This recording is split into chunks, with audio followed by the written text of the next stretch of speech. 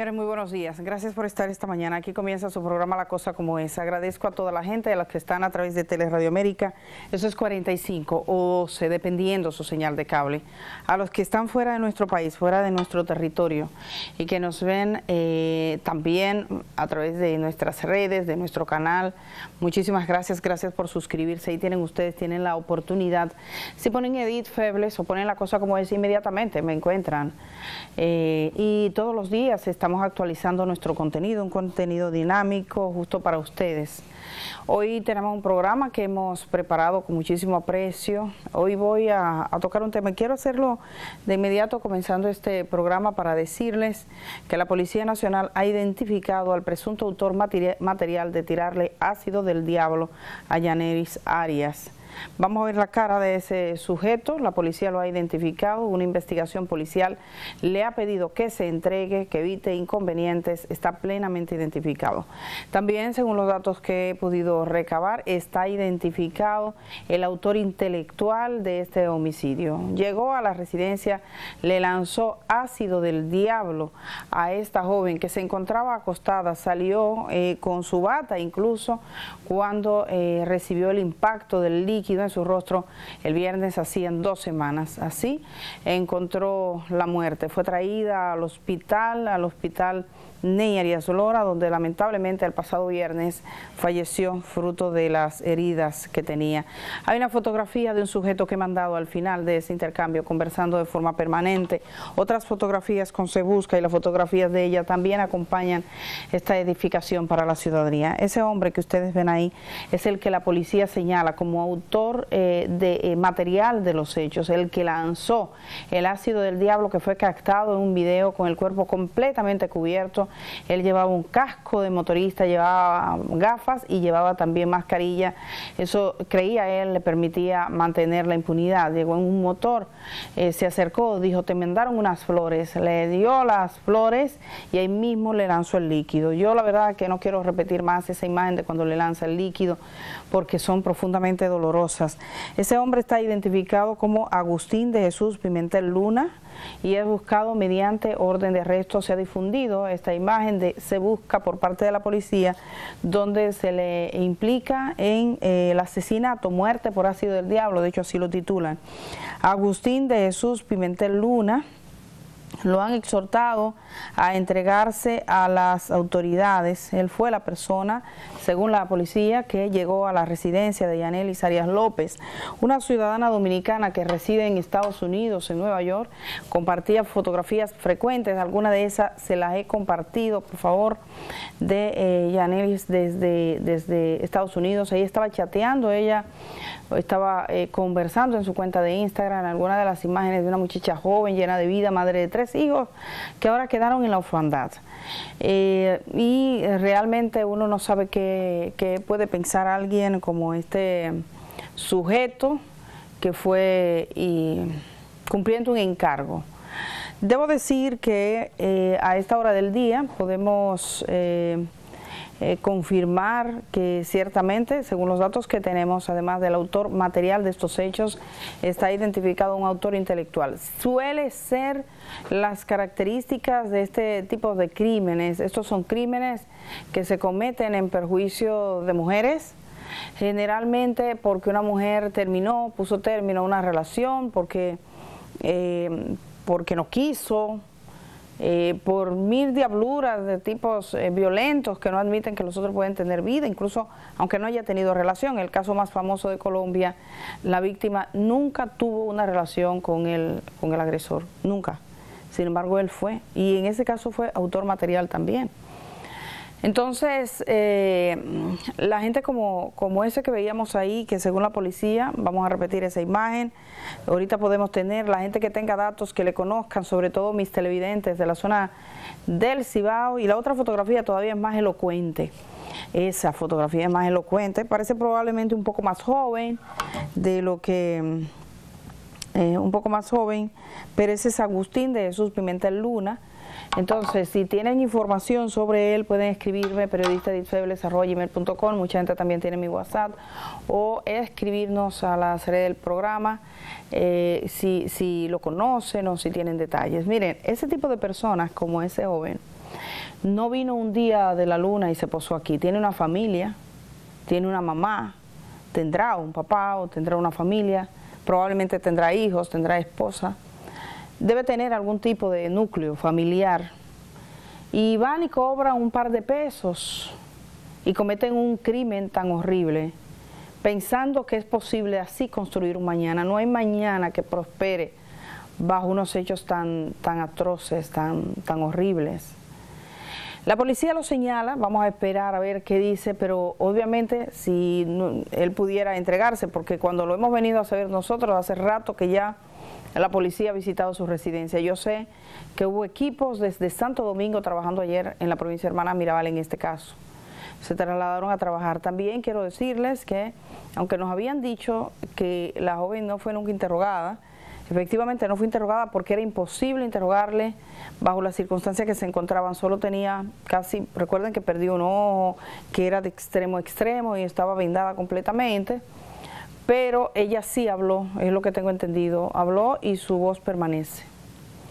Alguien pudo tener su voz y, ella habló y, y dijo probablemente, si tenía sospecha lo habrá dicho, pero desde el primer momento se declaró que habían sospechosos. De hecho, Hablé con su tía en este programa y nos dijo que habían eh, sospechosos, o sea, se tenía una idea de quién pudo haber sido. Nosotros probablemente mañana, en 48 horas, 72, más temprano que tarde, vamos a tener los detalles, pero lo importante aquí es que al parecer las autoridades van por un camino correcto, idóneo para dar con los responsables de lanzar ácido del diablo a una joven mujer, una joven madre que residía en Estados Unidos, que vino al país a estar con su familia. Ayer, eh, miembros de su familia y gente de la, de la comunidad de Tenares, muchas personas se movilizaron con velas en las manos pidiendo justicia, se movilizaron por todo el pueblo. Yo quiero eh, pensar que un caso como este no, puede quedar eh, impune. O sea, la sociedad dominicana, este es un caso que le ha llegado al corazón y me doy cuenta porque, por ejemplo, yo escribí un tweet en el momento en que ella falleció, la cantidad de personas, hay personas que me han escrito desde fuera de nuestro país. Vi, por ejemplo, una ciudadana que me escribía desde México, que eso le llegó. Y gente que ha escrito de diferentes partes, porque esa es la barbarie, eso es inaceptable, eso es cruel además, porque las personas mueren con un extraordinario sufrimiento, es causarle el mayor daño posible a un ser humano. Entonces, ese sujeto que lanzó ese ácido del diablo, esperamos que sea arrestado muy pronto. Esa, esa publicación de la policía de seguro que ayuda a su localización. Hay una, hay una recompensa que ha ofrecido el abogado Feliz Porte, en un principio eran 100 mil pesos, después se fue sumando gente, lleva más de 260 mil pesos, lo que dieran algún dato para dar con la identidad, ahora no sé si con su paradero, habría que confirmar con él si la, si la posibilidad de recompensa se mantiene en pie. Pero ya sabemos que está identificado este autor eh, material. No hay crimen perfecto, la gente cree que va a hacer, se va a poner una gorra, se va a poner unos unos lentes, se va a poner una mascarilla, unos, una blusa mangas largas, una camiseta manga larga y unos, y unos pantalones y va a salir y eso se le va a dar perfecto. Nadie va a saber que fue él. Vivirá bajo la impunidad de forma eterna. Eso piensan quizás algunos, pero luego viene el momento de la verdad. La verdad es que toda la policía junta siempre es más que la inteligencia que usted tiene.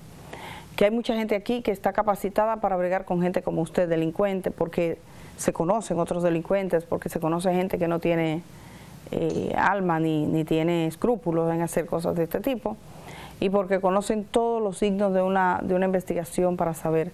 Por ejemplo, me dicen, no lo sé todavía, pero mucha gente en Salcedo, eh, al parecer, están con la idea de que las flores fueron claves para determinar las responsabilidades. Las flores.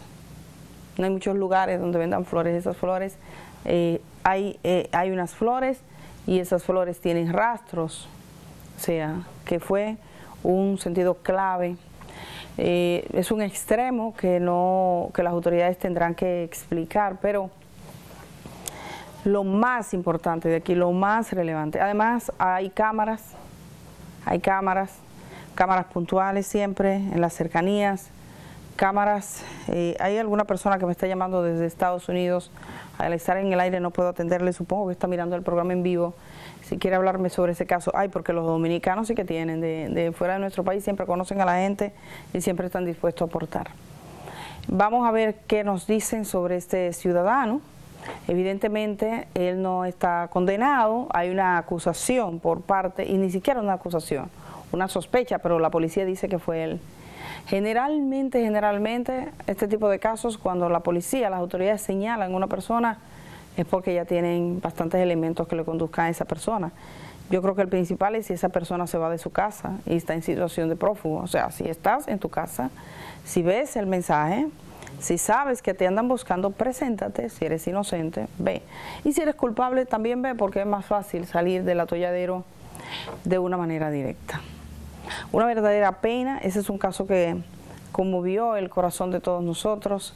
Lamentamos profundamente lo que ocurrió con Yanelis Arias y esperamos que eso no ocurra con nadie más.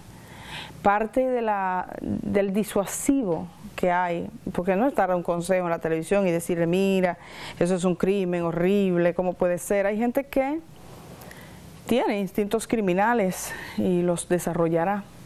Ahora, si sabe que eso tiene consecuencias, si sabe que le pueden caer 40 años de cárcel, si sabe que jamás verá la luz del sol y tiene el repudio social de quien desprecia actos de esta barbarie, de esta naturaleza, pues entonces eh, igual se lo piensa, ese es un disuasivo. Las sociedades, los países, las sociedades nuestras, no pueden permitirse ni por un resquicio que un acto de esta naturaleza pase y quede impune un acto de esta naturaleza pasa y es un desafío para todo el mundo, para que esa, esa persona tan criminal aparezca, porque ese es uno de los crímenes más eh, degradantes de la persona, que habla de la persona que lo comete, de su nivel de degradación, de la intencionalidad de hacer daño, de la idea de herir, lastimar, humillar, reducir a una persona a lo máximo para que quede ciega, para que no vea, para que tenga dolor todo el tiempo, para que no se reconozca en el espejo, para que desaparezcan sus rasgos, para que no se le vea la cara, para que no la reconozcan, pero para que ella sepa y sufra y que no pueda olvidar lo horrible que es haberse cruzado con otro ser humano así en su camino. Esperamos honestamente que, que las autoridades den con los responsables y ellos están, claro, en la posibilidad de, entregarse, como le está pidiendo la policía.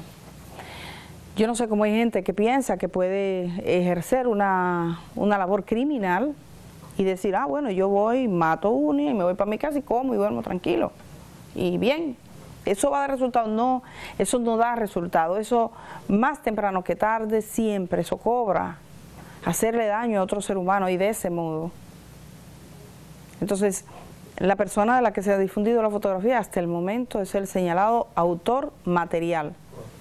Es lo que dice la autoridad, que es el autor material. Falta que se identifique el autor intelectual públicamente, según lo que tenemos entendido, también podría estar eh, identificado.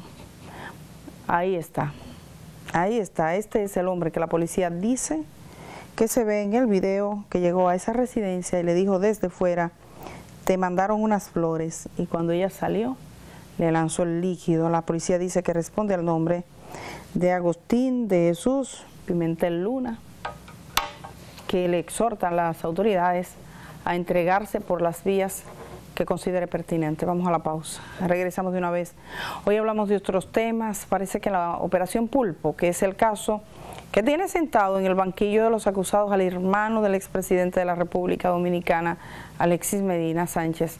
Pues hay tres de los imputados que están llegando a acuerdos, están delatando. Vamos a hablar hoy de lo que significa eso tras la pausa.